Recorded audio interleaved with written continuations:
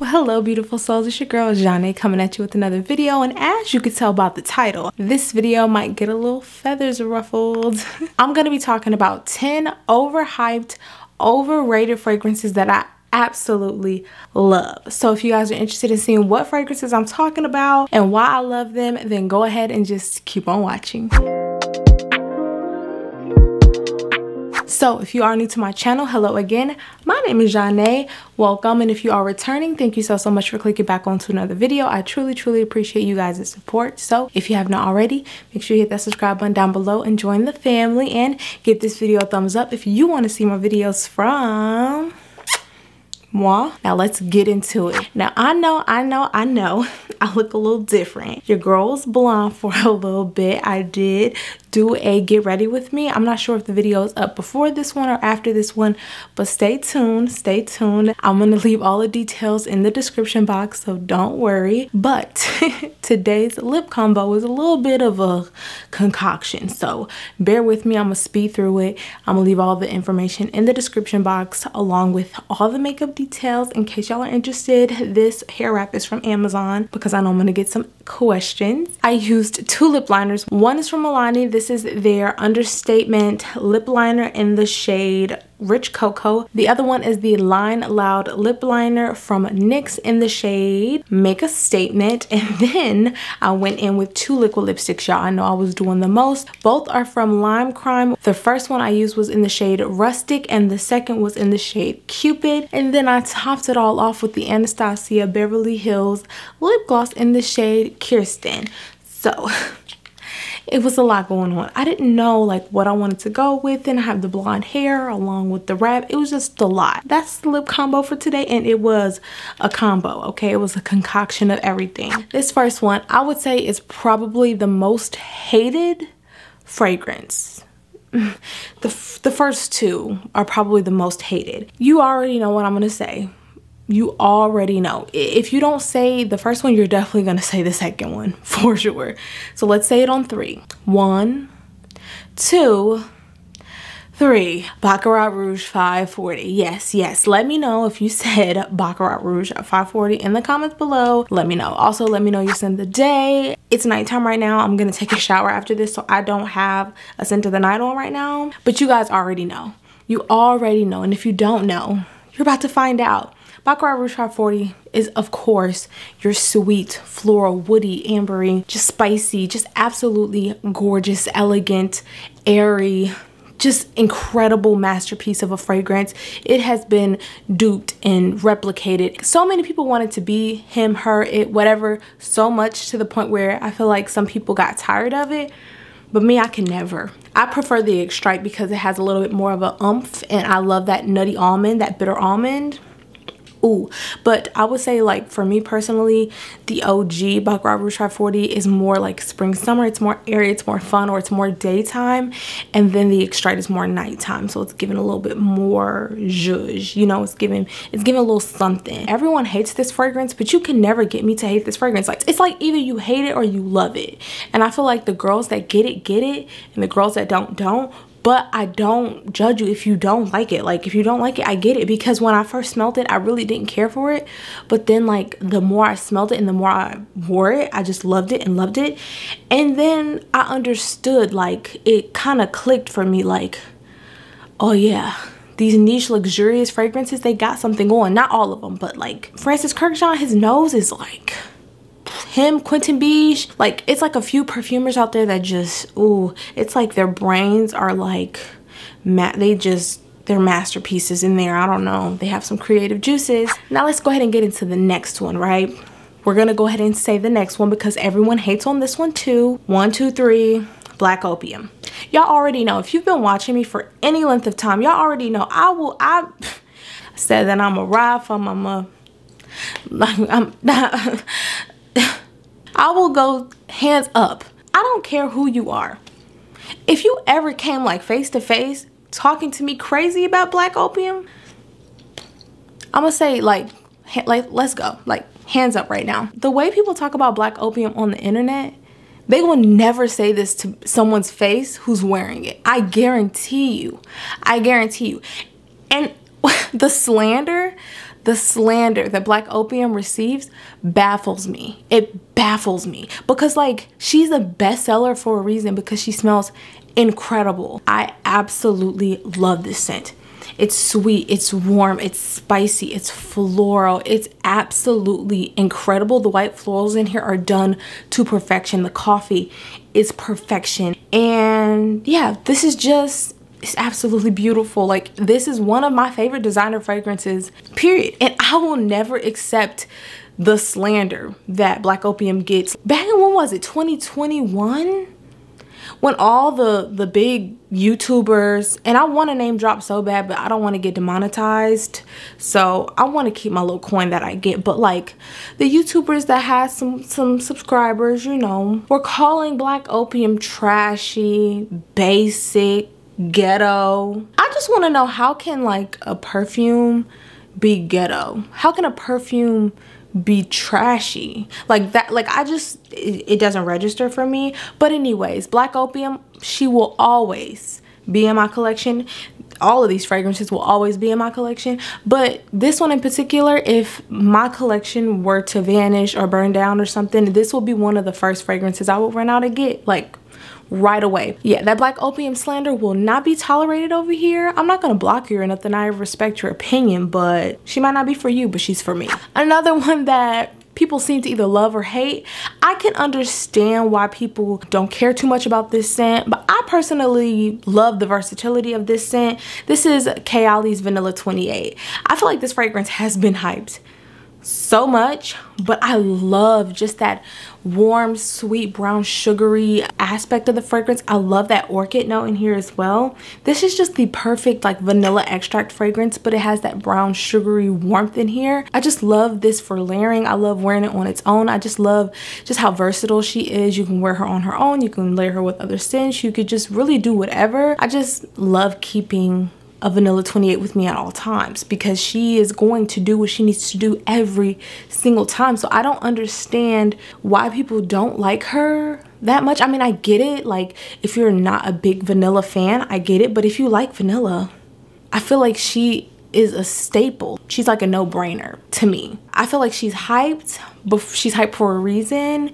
And I feel like, I don't know, she should continue to get the love that she deserves. So yeah, Vanilla 28 from Kayali, she's that girl and she will always be that girl. And we should just continue to give her the praise that she deserves. And this was in Mona's initial launch. So like the fact that she's still getting that same degree of hype and it's been what? Well, she was launched in what during the pandemic, right? Around that time? I'm here for it. So girl, do your thing, Mona. Keep doing it. Keep doing it. Now this, I guess, collection had everybody in a chokehold for years. I mean, it still got me in a chokehold, so I'm just saying. Delina, Delina Exclusive, Delina La Rose, they just bringing all the Delinas out. I know that they just launched the limited edition Delina like bottle with the roses on it, girl. Look, Parfums de Marly, if you're watching this, go ahead and send me that bottle if y'all like. I would love to have that cute little bottle, but I got all three, baby. Like, I love the Delina DNA. I am a Delina exclusive girl, but you picture me rolling, catch me with all three. Like I love the Delina DNA. Now, let's start off with the OG. Of course, your OG Delina. She's your bright, she's your fresh, your zingy tangy rhubarb, fruity floral with that musk, with that woodiness. She's absolutely gorgeous, extremely long lasting. But then they came out with Delina Exclusive, which is personally my favorite from the line. She was my wedding day fragrance. She's sweet, she's creamy, she's powdery. She has that vanillic touch. She doesn't have that rhubarb note, but she has that sweet, juicy lychee note, lychee. She's absolutely incredible. I love, love that incense note as well. So you get a little bit of that smokiness. This is a gorgeous, gorgeous, gorgeous fragrance. Super romantic romantic in my opinion, but it has that like sexiness. Now, La Rose is the newest addition to the Delina line. She is more of like Delina, but less tart, more aquatic and watery, fresh. Quentin Bisch, he did his thing with all three of these ladies and I just I just love it. And the fact that La Rose is very fresh, airy, watery, aquatic, she's still very long lasting. I just I don't know how he did it, but he did it. I absolutely love the whole Delina collection. I'm personally a Parfums de Marly fan. It's one of my favorite like luxury niche houses probably my favorite. I would say yeah my favorite because i just adore how they do fragrances like the perfumers that they choose how they do fragrances their bottles the presentation just the elegance the story behind the fragrances. I just love what parfums de marly is about and i'm just here for it. I love delina. I love delina exclusive. I love delina la rose so i would say that that line is an overhyped highly highly talked about collection that I think is worth it. I love it. I absolutely love it and I'm so happy to have them. So again, if y'all watching go ahead and send me that new one because I would love to show the guys and the girls what that new bottle is talking about. All right, next is one that's also pretty like hyped up but hated on. I would say like this might be like hyped up and hated on. Most hated. I don't know. This scent in particular is Good Girl from Carolina Herrera. This scent is, I feel like it's absolutely beautiful. It is just very like dark, mysterious, sexy. It's warm, it's floral, but it also has like a lot of like depth to it. It has some woodiness. It has a little bit of a coffee touch to it. It has a lot going on in this fragrance, but it's so sexy. It's kind of like you can't really pinpoint anything. On my skin, I do get a lot of the white florals. I get a lot of the vanilla. I get a lot of the coffee. It's just very sexy and just sensual. And I feel like the vibe really matches the heel. To me, it's, I don't know, just very sexy and sensual and my wife likes this on me a lot. Again like i said in my previous video she's like the gordon ramsay of fragrances. She does not like many fragrances. So when she does like a scent on me I tend to try and gravitate towards those when I'm around her or like when we're going on a date because she doesn't like a lot of the fragrances that I like because she's not she doesn't really have a sweet tooth like that. She likes more like woodier sexier more sensual scents that aren't too sweet. Good girl I think she's very nice. Like I really really like her. And this is one that I'm definitely gonna keep around because I gotta make wifey happy. And this makes me happy as well. All right so these next two I'm gonna kind of talk about together because I couldn't choose which one I wanted to have in this place. So I'm going to be talking about Lyra from the Casamorati line from Xerjoff and Italica from the same line. Now I couldn't choose which one because I absolutely love both. I personally like Italica a little bit more, but the hype between the two are just out of this world and I feel like in the fragrance community either you're team Lyra or you're team Italica. I'm kind of team both but I'm a little more team Italica but I love them both so so much and I get complimented on both so so much. So I would say personally if you like very gourmand citrusy with a little bit of an aromatic touch vanilla you will really like lyra it doesn't go too cakey on me but it is really sweet. It's more of a very nice gourmand vanilla, but to me, it's not like extra, extra, extra like tooth rotting sweet, but it's sweet enough in my opinion. But if you want something very sexy, sensual, and gourmand, I think Italica is the way to go. This to me is a very sweet, fruity, almondy, lactonic.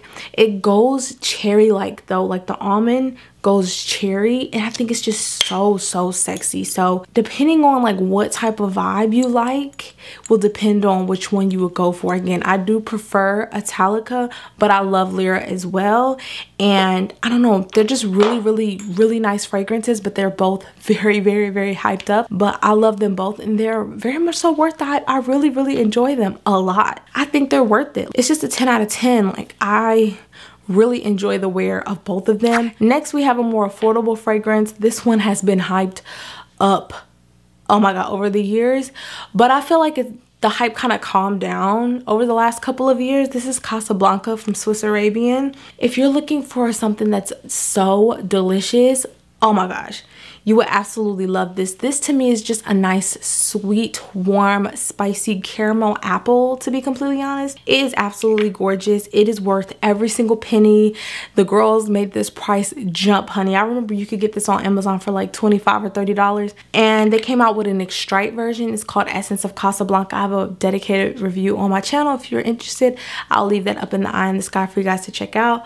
But this scent is absolutely incredible. It's so delicious and for this to be as intense as it is, the extract version is even more intense and that is mind-blowing. But it is so, so, so, so good. It is so good to be an Arabian Middle Eastern fragrance.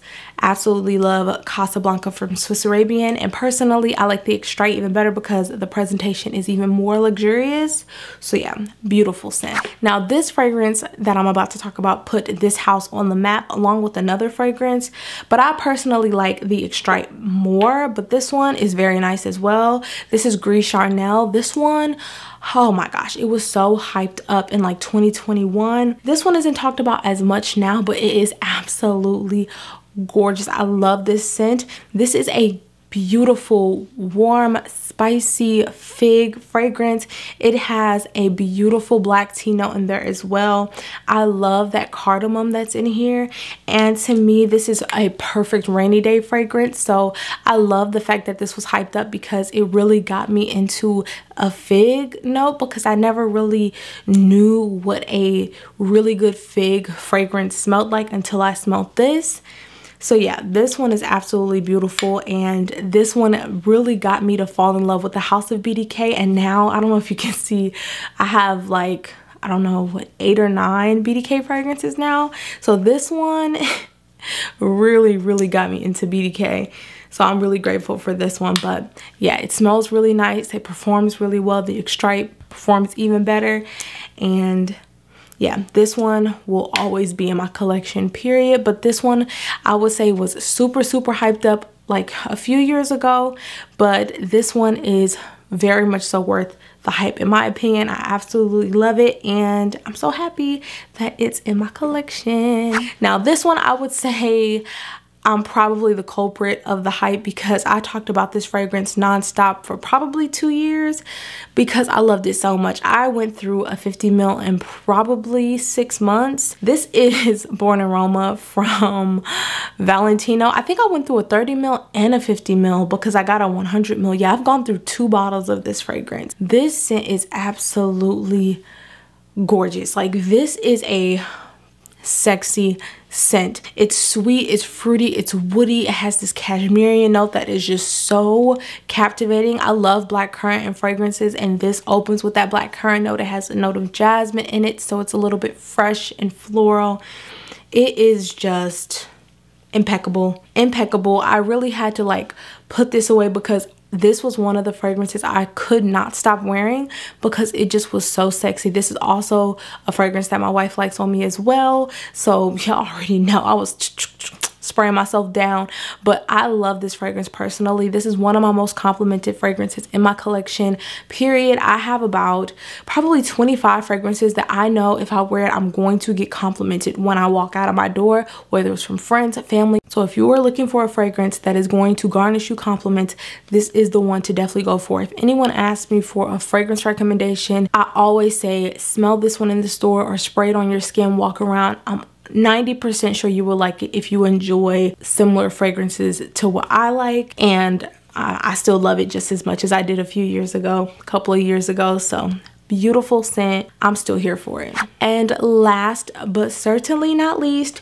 we have one that i actually did not love when i first got it but over the years well year it has really grown on me and i really enjoy this a lot. This is Erba Pura from Xerjoff now a lot of people either love this or they hate it but this is super super hyped in the fragrance community. I would say probably a couple years ago maybe even a year ago this one is super intense. Now this one is like a fruity, ambery, woody fragrance.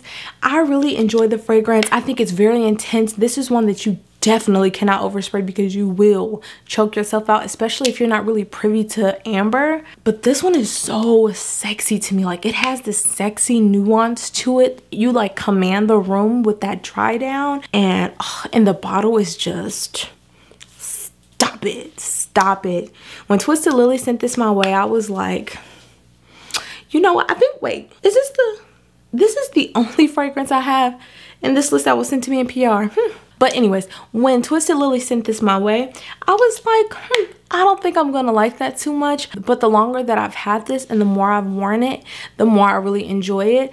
I think that it just depends on the occasion that you wear this to and also your mindset. If you want to feel ultra feminine, this is not the scent for you. But if you wanna feel powerful, if you wanna command a room, this is definitely an amazing option. So yeah, Erba Pura from Xerjoff is beautiful. It's very hyped but i will say as a woman this is one that i think is beautiful. I think it's a great option if you you know want to have something that's impactful powerful and attention grabbing but spray it delicately. Do not overspray this fragrance and you would definitely get some compliments. Now you should wear this fragrance. Don't let it wear you and i think that's where some people go wrong with this one. They don't have the confidence to wear this one because it is pretty intense. So Erba Pura from Xerjoff.